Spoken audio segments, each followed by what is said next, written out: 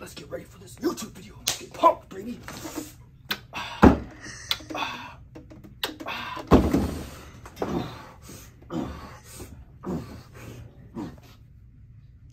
Boki, you're not supposed to be recording. Take that off.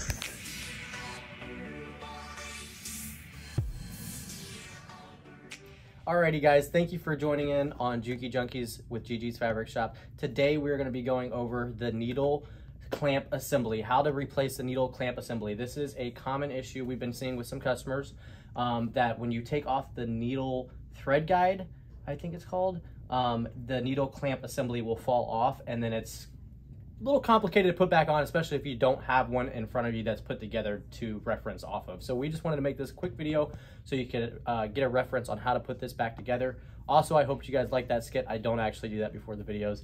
We just like to put something funny in the video to make you guys laugh before we start such a serious video. Um, so here we go. Let's get started. Alrighty, so we loosened up the needle by just loosening this big screw. I'm just going to go ahead and pull it out just like that. Remember the flat side goes to the right. Um, so we're gonna go ahead and place that over here, or actually let's just put that back there. And now everything should stay together. So this, this uh, needle clamp assembly shouldn't fall off unless the thread guide is removed. Can I say something? Since yes. I've seen it a couple times when you guys unloosen this screw Don't too much, if you do it too much, putting your needle back in is going to be so difficult. I've had so many customers this week mention to me, I can't put my needle back in. I don't know why. And it's because when you unscrew this too much, this starts to sag. You see that? Mm -hmm. So it's not making a clear opening. So do not screw it, unscrew it too much. Yes. Just wanted to add that. As you notice, I literally unscrewed it just enough where I could start pulling on the needle exactly. down. And that's all you need. You just have to break it. You really don't have to loosen it all the way. Yeah. But for this purpose, I'm going to go ahead and loosen it all the way, but not quite yet. I'm to actually take off the thread guide right now. Um, and that is just this top screw. Actually, what I'm to do is I'm to take off this needle threader so you guys can have a better view of the, the flathead that we're to be talking about here. So I'm to go ahead and break this flathead. And this is how you are going to replace the thread guide. Um, pretty much all you're to do is just loosen this flathead all the way like this and take that out. And then this thread guide just comes completely straight down like that. And that's how you're gonna replace it. So if that were to break, you're just gonna hold this needle clamp assembly on there so it doesn't all fall apart. And then if you wanna put this back on, pull it to the right a little bit. Make sure this part, this little hook is facing up. Put it on the right side, push it up so it's right there by the screw hole. Um, and Bookie, if you come to the right, you can kind of see um, right there. There we go. You can see a little better right there. Oh, oh goodness. Got it. There we go. Sorry, Sorry for the shaky camera. Screw fell in a weird spot. Okay, got it. Um, okay, so then you're just going to go ahead and put the screw back in there like there that and tighten it down all the way. And then that's how you replace your needle guide um, or the thread guide assembly. Now the needle guide or the needle clamp assembly um, if it all falls apart, it could fall apart during this process like this. If this little, it's like a washer almost, falls out. If this washer falls out, then this can come off. And now everything is off. So now we have all of these screws.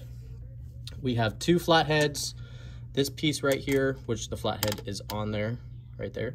And then we have the um, thread guide. Thread guide. And then we have this like washer thing. So now I'm gonna show you how to put it back together. Alrighty guys, so now that I have everything disassembled, I'm gonna go ahead and show you how to put everything back together. So we're gonna go ahead and put the needle clamp assembly back together. So I'm gonna go ahead and put this big flathead screw back into here. Just make sure that it's about halfway in there or until you can't see it going through the middle of this thing so you can screw it down almost all the way. Yeah, you can almost screw it down all the way. Okay, and then you can see that there's a little um, ledge inside of this. You're gonna wanna make sure that ledge is on the front bottom left when you put this on. So it's front bottom left is where the ledge is at. You're gonna turn it like this, flat, and you're gonna go ahead and put this on and there's a groove on this bar and that's where that ledge goes into. So you raise it up and then you pull it to the right. Now when I pull down, it doesn't go down. Um, and then you're gonna be grabbing this washer piece um, with the two screw holes in it, as you can see. Uh, you're going to put that facing to the right side of the machine like this. And that's it. Pretty much just like that. Um, and now you should be able to let go of everything and everything should stay on there. Now, if you push this to the left, it could all fall off.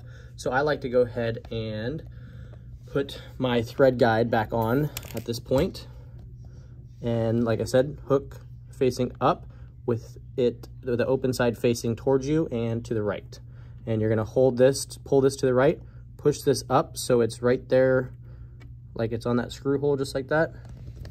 And then you're gonna go ahead and put your little screw through the top. I know it's kind of hard to get this on camera, but um, at least you kind of have a good reference on how to do this. So you're gonna have to hold, kind of hold everything together. Yeah, it's a little tricky. There we go. Just like that. Okay, so once that's all together, that's how it's supposed to look. Let me just zoom in a little bit. There we go. So this piece should stay on by itself, and then you gotta put this thread guide on, and then the top screw through the thread guide, and now everything should stay together, nothing should fall apart. Because um, it's, it's all held in by this top screw pretty much at this point. So now I'm gonna tighten this down, not all the way, but just enough where it's not gonna move too much. And then now I have everything pretty much assembled again. I'm gonna go ahead and put my needle back in, right side to the right. Flat side to the Or flat side to the right. Lots of technical terms here, you guys. yeah, I'm not good with all the technical terms. It's okay. Not yet. It's a lot of different terms. So now the flat side to the right, tighten down this main screw, and then I can go ahead and snug everything back up. The top one just needs to be hand tight, nothing crazy. So I'm just turning it till it's tight and then one more little turn. And then the same thing with the bottom one. Turn it till it's tight. And then maybe just a hair more, not, nothing too crazy. It's not gonna fall apart if it's hand tight. And then everything should be pretty much good to go. I'm gonna go ahead and put my needle threader back on, which is very easy. Just line up those slots with this bar and push up and everything should be good to go. I'm gonna go ahead and test it out. And everything is perfect.